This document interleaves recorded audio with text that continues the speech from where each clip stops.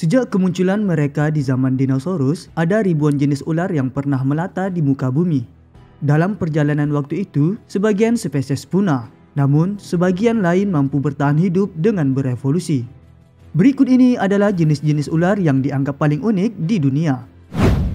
Ular gading gajah Ular ini mendapatkan namanya dari wujud kulitnya yang tidak biasa, yang berkerut dan longgar, terlihat tua, dan ukurannya yang sangat besar. Mereka dapat tumbuh hingga 2,5 meter. Ular yang banyak ditemukan di Indonesia dan Australia ini berhabitat di air dan tidak berdaya ketika di darat. Mereka tidak dapat meluncur seperti ular lainnya karena tidak memiliki skala yang luas di dalam perutnya. Karena hidup di air, ular ini memakan ikan, termasuk lele dan belut. Ular ini memiliki sedikit racun, itu pun tidak mematikan, sehingga mereka menggunakan lilitan untuk membunuh mangsanya. Sisinya yang besar dan menonjol adalah adaptasi untuk mencengkram ikan licin dan melilit mereka di bawah air. Ular bertentakel Sebagaimana namanya, ular bertentakel dianggap spesies yang unik karena keberadaan tentakel berdaging yang aneh pada moncongnya. Ini merupakan spesies terakhir yang masih hidup dari genusnya. Sama seperti ular gading gajah, ular bertentakel hanya dapat hidup di dalam air dan tak berdaya ketika berada di darat. Tentakel yang terdapat pada moncong ular ini berfungsi seperti indera yang sangat sensitif yang memungkinkan ular ini mendeteksi gerakan dalam air dan menyerang setiap ikan yang berenang di dekatnya. Tentakel ular itu mampu menyerang mangsa dengan kecepatan 15 mili detik, sehingga mangsa yang diburu sulit menyelamatkan diri. Ular yang dapat tumbuh sekitar 90 cm panjangnya ini memiliki bisa, namun racunnya tidak menjadi ancaman bagi manusia. Ular hidung panjang Nama lengkapnya adalah ular pohon anggur hidung panjang. Ular yang berasal dari Asia Tenggara ini merupakan predator mematikan tidak seperti ular yang lain, ia memiliki penglihatan yang sangat baik sehingga memungkinkannya menyerang mangsa dengan cepat dan akurat. Tubuhnya yang ringan memungkinkannya bergerak cepat di daunan dan dapat melayang dari satu cabang ke cabang lain dengan setengah tubuh di udara. Makanan utamanya adalah kadal dan katak. Meskipun mereka berbisa, namun ular ini tidak menimbulkan ancaman serius bagi manusia. Gigitannya hanya menimbulkan sakit dan bengkak dan gejalanya akan hilang dalam beberapa hari. Ular berhidung daun Ular berhidung daun dianggap salah satu reptil paling aneh di dunia. Keunikannya terutama pada keberadaan tanduk aneh pada moncongnya. Selain itu, ular ini juga dapat ditentukan gendernya secara mudah hanya dengan melihatnya. Jantan dan betina dari ular ini terlihat sangat berbeda. Jantan berwarna kekuningan dan memiliki kulit halus dan tajam, serta memiliki tanduk. Sementara betina memiliki kulit kasar dan berwarna coklat. Ular ini hanya dapat ditemukan di hutan hujan di Madagaskar. Sangat berbisa dan gigitannya dapat sangat menyakitkan bagi manusia, tetapi tidak menyebabkan kematian.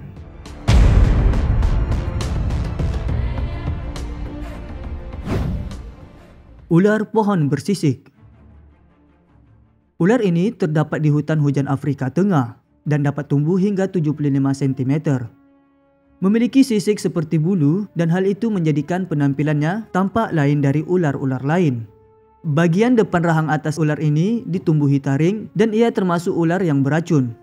Gigitannya menyebabkan kesulitan bernapas, pembekuan darah, rasa sakit dan bengkak sampai kematian. Sampai saat ini, belum ada penawar yang dapat mengatasi racunnya. Namun, untungnya ular ini biasanya tinggal jauh dari pemukiman manusia karena keberadaannya juga sangat langka. Ular ini pun termasuk hewan yang dilindungi.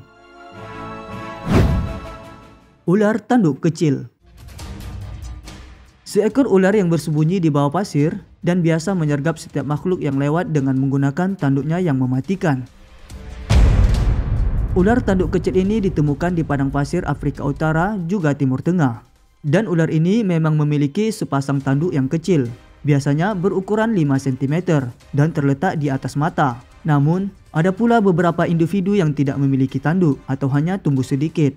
Mereka berbisa, namun gigitannya tidak fatal bagi manusia. Ular bertaring Ular bertubuh kecil dari Afrika ini menghabiskan sebagian besar hidupnya di bawah tanah dan menjadikan tikus sebagai makanannya. Untuk keperluan itu, ia menggunakan sejenis taring besar miliknya yang berfungsi sebagai pencengkeram berbisa. Ketika digunakan, taring itu menonjol keluar dari mulutnya. Taring yang dimiliki ular itu merupakan senjata berbahaya, dan ular ini pun dapat membunuh korbannya dengan mudah. Karena memiliki taring yang panjang, ular ini mampu menyuntikkan racun yang dimilikinya lebih dalam ke tubuh mangsanya. Karena itu, ular ini sangat berbahaya bagi manusia. Ular air Jepang Dikenal pula dengan nama Yamakagashi. Ular ini kebanyakan ditemukan di Asia Timur. Ular ini ada yang memiliki kulit berwarna-warni cerah. Ada pula yang terlihat normal sebagaimana umumnya ular. Bentuknya kecil, jarang melebihi 1 meter, dan jarang memperlihatkan diri. Fakta itu kemudian menjadikan banyak orang mengira bahwa ular itu tidak berbahaya.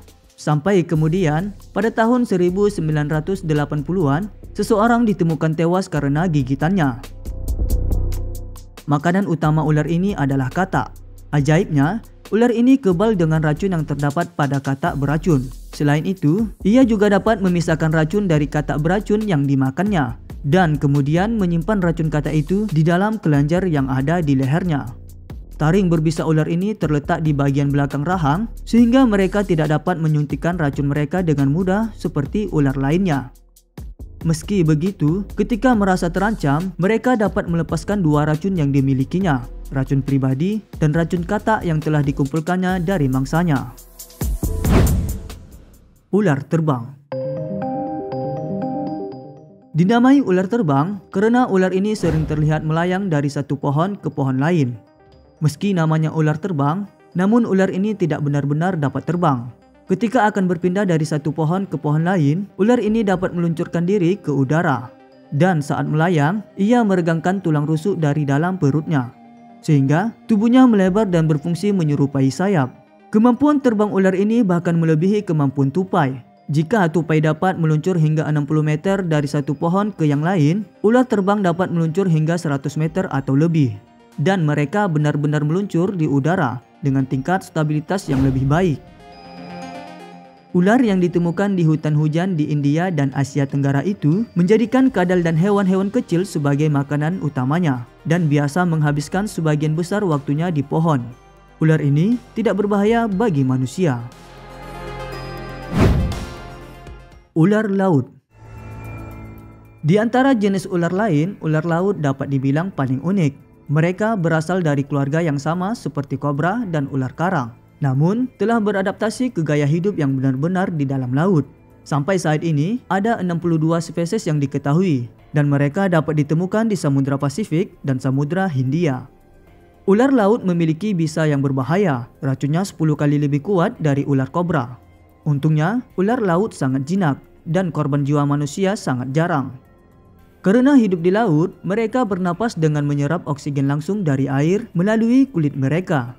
Selain itu, mereka juga memiliki kelenjar khusus di lidah yang dapat membuang kelebihan garam dari organ dalam tubuhnya. Di antara spesies ular laut yang paling menakjubkan adalah Golden Sea Snake atau ular laut emas.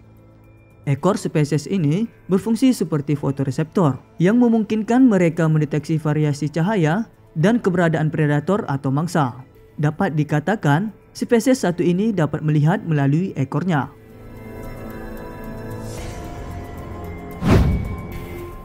Itu dia ular-ular aneh dan unik yang tak biasa kita lihat. Semoga apa yang dapat kami sampaikan bermanfaat bagi kita semua.